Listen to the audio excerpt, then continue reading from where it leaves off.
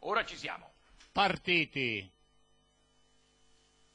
È in vantaggio Caraca davanti a Catch Me, Mystery Man, Jackal Prince, Russian Melody, Giacobina, Osi Pencol, King Shan, Nick Tommaso,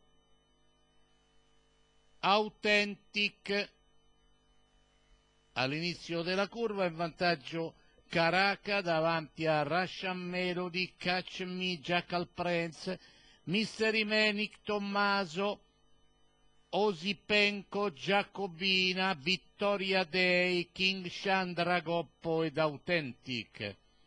Poco prima dell'ingresso in dirittura prosegue in vantaggio Caraca davanti a Russian Melody, Catch Me e Jackal Prince.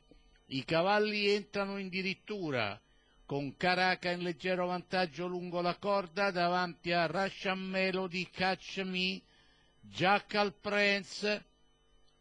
A centropista Vittoria Dei con Nick Tommaso per linee interne, Mystery Man, seguono Authentic, Dragoppo e sempre in leggero vantaggio Caraca, attaccata all'esterno da Russian Melody, seguono Catch Me, Jackal Prince, Vittoria Day, Authentic e Nick Tommaso all'interno e Caraca, all'esterno Russian Melody, a centropista Catch Me e Jackal Prince e in vantaggio Russian Melody davanti a Catch Me, Caraca e Jackal Prince. L'ultimo vincitore di questa giornata, strepitosa per Salvatore Sulas, è Russia Melody, il numero 10. Davvero il mattatore del pomeriggio è stato proprio lui, il bravissimo fantino Salvatore Sulas.